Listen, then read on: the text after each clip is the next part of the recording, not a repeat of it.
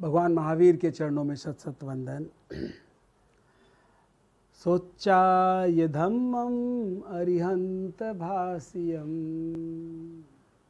समाह्यम अर्थपो विशुद्धम। तम सद्धाणाय जना अनाहु। इंदेव देवा हिव आगमिसन्ति। इंदेव देवा हिव आगमिसन्ति। वंदे गुरुरम वंदे भगवान। आज जब हम ग्यारह प्रतिमाओं की चर्चा कर रहे थे, सबसे पहले मैं अपने गुरुदेव, अपने भगवान परम पावन, परम कृपालु, तीर्थंकर के प्रतिनिधि, आचार्य श्री महाश्रमण जी को वंदना करता हूँ और वंदना करता हूँ उन सभी साधु साध्वियों को, जो जगह जगह विचरण कर जगह जगह जिन्होंने अपना चतुर्मास कर, हम सबका कल्याण किया है। इसी श्रृंखला में हमारे आगम निशी प्रोफेसर महेंद्र मुनि, जिनका चतुर्मास समझिए बिल्ली के भाग का छीका टूटा हो, हमें मुंबई वासियों को मिल गया।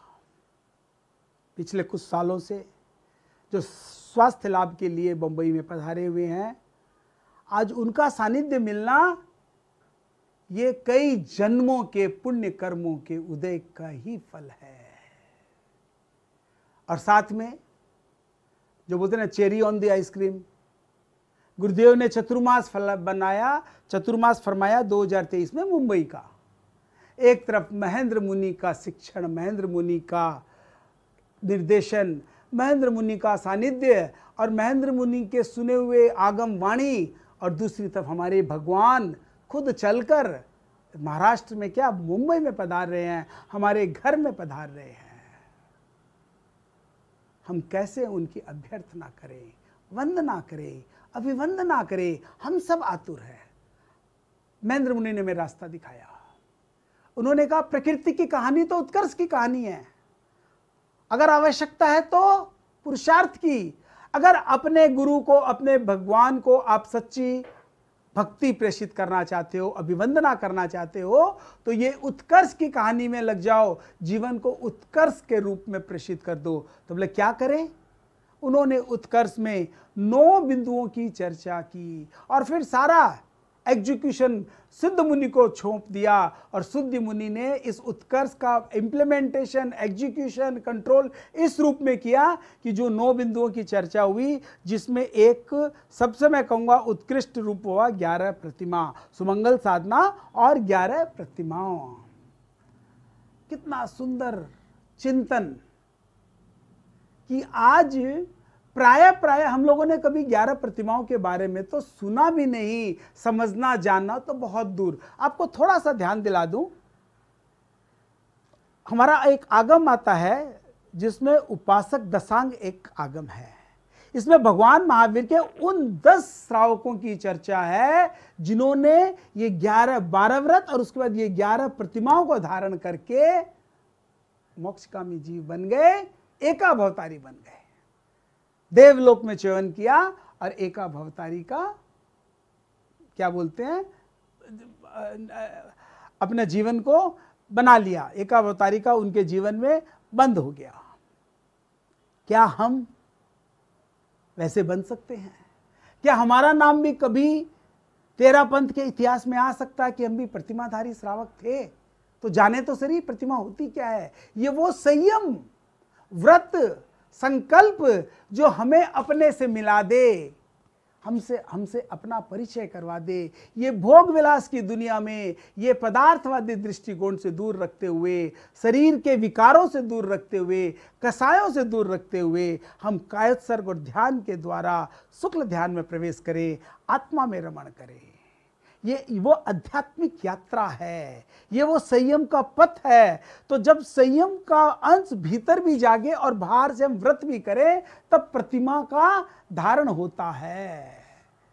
हमने पिछले कई सेशन में एक से नौ प्रतिमाओं तक की चर्चा की।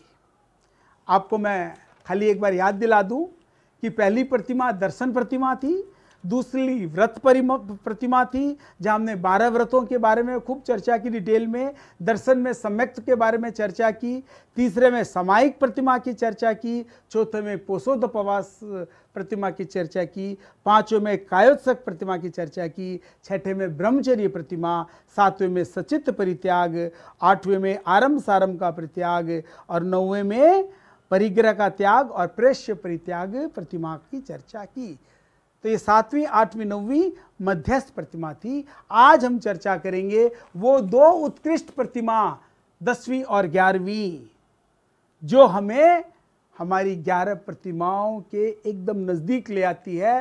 मन में निर्मलता, पवित्रता धारण हो जाती है।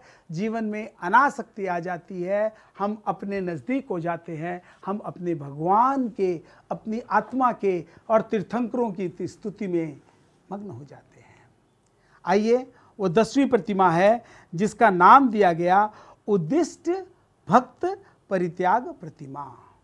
उद्दिष्ट भक्त परित्याग इस प्रतिमा में क्या होता है? चूँकि दसवीं प्रतिमा है तो मैंने आपको बताया था कि जितना नंबर की प्रतिमा, उतना माह का कालमान होता है। तो इसका कालमान है दस मास का। दस मास का ये कालमान होता है उदिष्ट भक्त परित्याग प्रतिमा का। इस प्रतिमा में क्या करता है? जो साधक होता है, जो श्रावक है वह उसके लिए बनाए गए भोजन को ग्रहण नहीं करता। जैसे हमारी मुनिचर्या में आते हैं, वो सचित का त्याग करते हैं, रात्रि भोजन नहीं करते, लेकिन प्रासुक आहार भी लेते हैं। उनके लिए बनाया हुआ न तो वो लेते हैं, न उनके निर्देश से कुछ बनाना है, न वो कोई निर्देश देते हैं। हम अपने लिए जो बनाते हैं, उसी में जो हम यथासम विभाग व्रत बोलते हैं, अपने लिए जो बनाया, उसी में से जो प्रासु को, जो अचित हो, उसमें उनको भावना भाते हैं और वो अपनी रुचि अनुसार धीरे धीरे धीरे वो जो चाइना होती है, वो लेते हैं। जो श्रावक है मुनिव्रत तो धारण नहीं हुआ तो भिक्षा लेके तो नहीं खा सकता। क्योंकि तो वो क्या करता है, दसवीं प्रतिमा में भोजन तो करेगा लेकिन वो भोजन क्या करता है? उसके लिए बनाना है। उसके लिए न तो बनाना है और न निर्देश देके अपने लिए भोजन बनवाएगा। वो ये नहीं कहता, मेरे लिए ये बनवाओ। क्योंकि दसवें प्रतिमा में अब धीरे धीरे वह गृहस्थ को छोड़ देता है। बाकी सब छूट गए। बाकी समायिक पोषोदोपवास ब्रह्मचर्य, सचित, रात्रि भोजन, ये सारे तो हो चुके। सम्यक्त दर्शन हो गया। अब बेसिकली उसको क्या करना है? बेसिकली वो गृहस्थ से बाहर, या तो कई लोग तो क्या कहते हैं, मंदिर में और उपाश्रम में रहते हैं, जहाँ महाराज का ठिकाना रहता है, वहाँ रहते हैं, या घर में भी रहते अगर हैं तो घर में भी अतिथि की तरह रहते हैं। यानी वह घर का मतलब और क्या करते हैं इसमें? तो भोजन हो तो भोजन जो घर में बना है, वो जिस वो भावना भाए, उसी को वो ग्रहण करते हैं। दूसरा, मुंडन करवाते हैं। साधुओं का अपने देखते मुंडन, यानी शरीर का कोई श्रृंगार नहीं। तो कम से कम साल में दो बार मुंडन करवाना ज़रूरी है। चोटी धारण रख करते हैं। चोटी रख सकते हैं तो मुंडन करवा लेते हैं। तो शरीर के प्रति कोई आकर्षण नहीं रहा। पिछली प्रतिमा में बताया था, वो धोती धारण करता है, जिसमें लांग नहीं रहे। तो इनमें बेसिकली क्या रहता है, वो वस्त्र, अपना जो भी वस्त्र धारण, सफ़ेद वस्त्र धारण करके मुंडन करता है। पूरे बाल मस्तक पे नहीं रखता। और दस महीनों में दो बार, जो दस महीने का जो काल, दो बार तो मुंडन करवाना मस्ट है, सिखा और अथवा सिखा रखना भी आवश्यक है। अगर घर संबंधी कोई प्रश्न पूछता है तो उसकी वो अनुमोदना नहीं करता। खाली इतना कहता, मैं जानता हूँ या मैं नहीं जानता?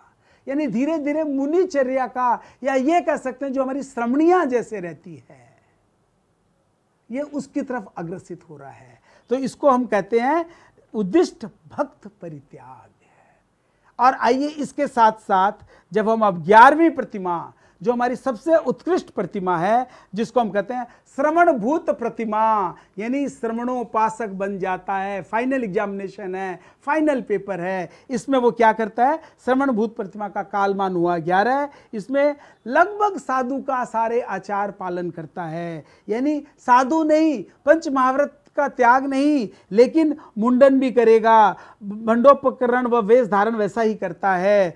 भिक्षा सिर्फ़ अपने, लेकिन भिक्षा सिर्फ़ अपने घर वालों के यहाँ या अपने जाति परिचय वालों के यहाँ ही करेगा। समाज में भिक्षा नहीं जाएगा। दूसरे मतलब गाँव में भिक्षा के लिए नहीं जाएगा। भिक्षा लेके तो खाएगा, उसके लिए नहीं बनाना है। लेकिन क्या है? श्रवण भूत यानी श्रवणोपासक बनता जा रहा है तो वो संपन्न जिसको अपने श्रमणिया के रूप में जिसमें श्रमणिया तो फिर भी बाहर जा सकती है भिक्षा के लिए लिए अपने जाति परिवार वालों के यहाँ ही भिक्षा के लिए जाएगा और जो इसके लिए नहीं बना उसे लेके ही भोजन करेगा। बाकी सारी चर्या मोर और लेस साधु की तरह होती है। इसके लिए मैं आपको दो तीन बात और बताना चाहता हूँ कि इस प्रतिभा संपन्न श्रवणोपासक जनरली पुरुष होते हैं। कहा जाता है पुरुष के, क्योंकि स्त्रियों के लिए ये पालना मुश्किल हो जाता, फिर वो श्रमणी दीक्षा हो जाती है। और पाँच साल का जब तक बारह व्रत का पालन किया हुआ नहीं हो तो उसको ग्यारहवीं प्रतिमा धारण नहीं करवाई जा सकती। जो हमारे गुरुदेव या साधु संत, उसको ग्यारहवीं प्रतिमा त्याग नहीं करवाते। क्योंकि बोले, पहले अभ्यास कर लो बारह व्रत का, जहाँ अगार भी होता है। तो पाँच साल का बारह व्रत और कम से कम पचास साल की उम्र तो चाहिए। क्योंकि 50 साल के नीचे का व्यक्ति माना जाता पूर्ण त्याग गृहस्थ में है, उनसे ये त्याग नहीं पलेंगे। या तो वो मुनि दीक्षा ले ले, श्रवण रहता हुआ, गृहस्थ में रहता हुआ, पालना बड़ा मुश्किल हो जाता है। इस बोल के आवश्यकता है। ये बनाया, ये विधान बनाया गया कि 50 साल के उम्र से ज़्यादा वाला व्यक्ति पाँच, पहले बारह व्रत तो शुरू में ही धारण कर ले। बारह व्रत को पाले हुए पाँच साल हो जाए, उसका अभ्यास हो जाए, दस प्रतिमा तक का अभ्यास हो जाए, तब ये ग्यारहवीं प्रतिमा धारण करे। श्रवण भूत परिमा मतलब इसमें श्रवणों की उत्कृष्ट स्थिति है। इसके बाद आज चाहे तो वह छठा गुण स्थान में प्रवेश कर सकता है। पंच महाव्रत का पालन करके पंच महाव्रत का पालन करके मुनि दीक्षा जब लेता है तब वो छठे गुण स्थान में। और यहाँ तो मुनि का एक, जिसको बोलते हैं रिहर्सल करता है, एक ट्रायल देखता है कि मुनि का जीवन कैसा होता है, मुनि की चर्या कैसी होती है। प्राय प्राय उसका सारी चर्या मुनि के बराबर होती है। उसका मुंडन भी करता है, आहार भी वैसा लेता है, बंडोपकरण भी वैसा होता है, वेश भी मुनि की तरह धारण करता है। फिर बचा क्या? फिर बचा क्या? सील की नौ बाढ़ को पूरा धारण, त्याग करके रखता है, बाढ़ को मानता है। किसी भी तरह का सांसारिक सुख, सुविधा, भौतिकता अपने जीवन में आसक्ति नहीं रखता, पदार्थ में नहीं उलझता, आत्मरमण करता है और साधना करता है। बंधुओं, में ये चाहता हूँ कि उपक्रम जब अगर मुनि महेंद्र कुमार जी ने हमारे सामने रखा है, गुरुदेव की बड़ी कृपा है, और हम सब चाहते हैं कि कम से कम मुंबई से प्रतिमाधारी श्रावक बने, ग्यारहवीं प्रतिमा धारक बने या न बने, कम से कम हम मन में यह संकल्प रखे, गुरुदेव ने चतुर्मास मनाया है तो हम सब प्रतिमाधारी श्रावक तो बने। प्रारंभ करें पहली से, दूसरा, तीसरा, चौथा, जिसको जितना बन सके, जितनी धारणा कर सके, जितना भीतर संकल्प कर सके, संयम में अग्रसित हो सके, उतनी प्रतिमा को धारण करे। एक जनरल खाली जिसको बोलते ना, ये मोक्ष सेशन के रूप में मैंने ग्यारह प्रतिमाओं का सिर्फ़ एक आपको बिंदु बताए कि कौन सी प्रतिमा क्या होती है। आवश्यकता है, जैसे मैंने बताया, हम प्रतिमाधारी श्रावक तो बने ही जिस जिस प्रतिमा में हमारा मन लग जाता है, हमारा संकल्प होता है, उस प्रतिमा को धारण करें और अपने आप को ये प्रस्तुत करें। लगे मुंबई में गुरुदेव का चतुर्मास हुआ तो सैकड़ों लोग या हज़ारों लोग प्रतिमाधारी श्रावक बने। प्रेरणा थी महेंद्र मुनि की, श्रम था सिद्ध मुनि का और मुझे मौका दिया गया कि इसके बारे में मैं आपको बताऊँ। तो जितनी जितनी प्रतिमा हो सके, उतनी उतनी प्रतिमा धारण करें। इसी मंगल कामना के साथ मैं चाहता हूँ हम सब संकल्पित हों कि हम प्रतिमाधारी श्रावक बने और गुरु की कृपा रहे, महेंद्र मुनि का प्रयास सफल हो। ओम अरहम ओम अरहम ओम अरहम।